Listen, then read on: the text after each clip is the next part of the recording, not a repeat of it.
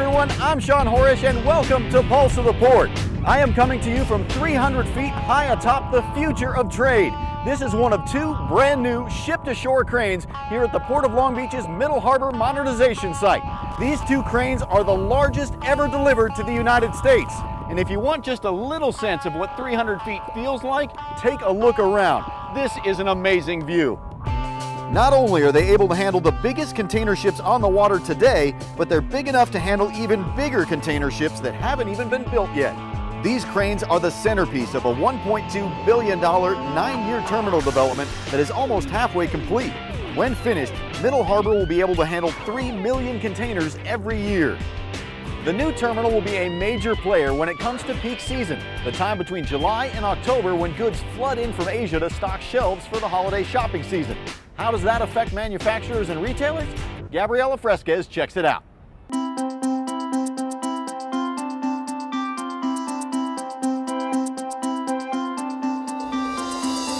Making a list and checking it twice. That's what comes to mind when I think of the holiday season.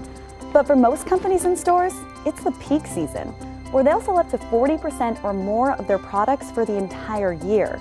And getting ready for a surge in sales like that takes planning, as we discovered at Evans Manufacturing, a company located right here in Garden Grove, California.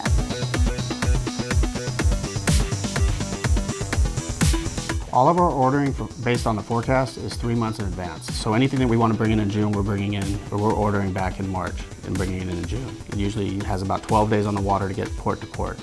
For 30 years, Evans has been at the forefront of the promotional products industry, offering items from cup holders to band-aid holders to customers all around the United States. Any product that has a company logo, you probably have a variety of pens.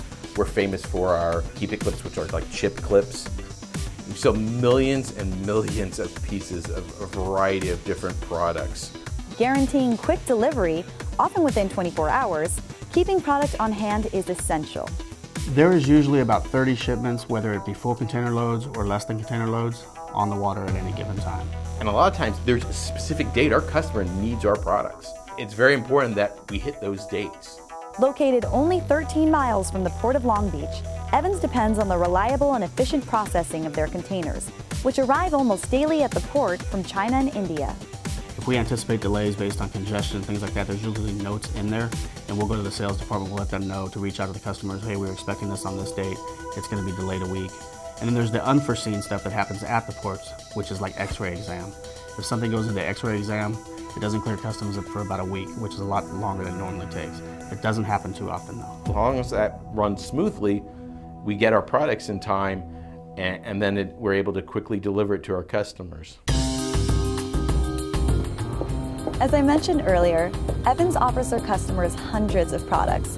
But what makes their products unique or better than their competitors? That's where design comes in. At Evans, their industrial designer is a native of Long Beach, who graduated from Cal State Long Beach in 2001.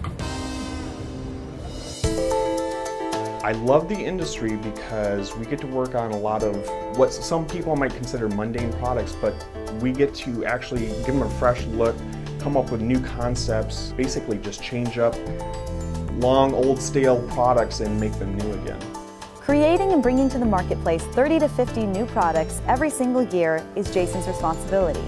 And to do this efficiently and quickly, he continually interacts with his colleagues abroad international trade has actually played a major role in how we do our business. Typically the designs that we're doing here are almost always at least tooled over in China, if not manufactured over in China and then brought back here.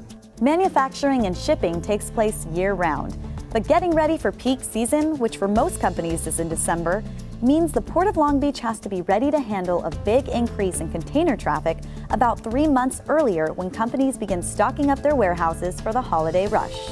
Terminal operations have to be efficient. They have to move the cargo in and out of the terminals as fast as possible. It's an exciting time. You're seeing all this ships coming in, containers moving in and out.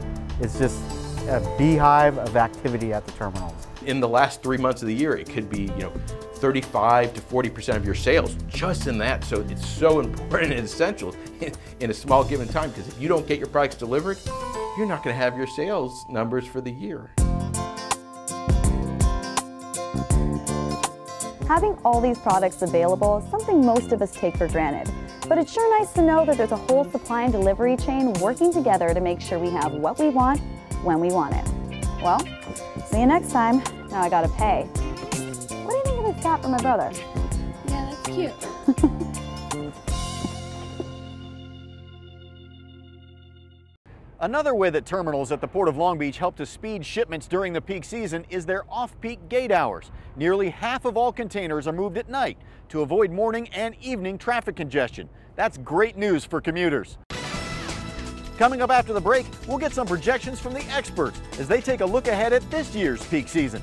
Stay with us.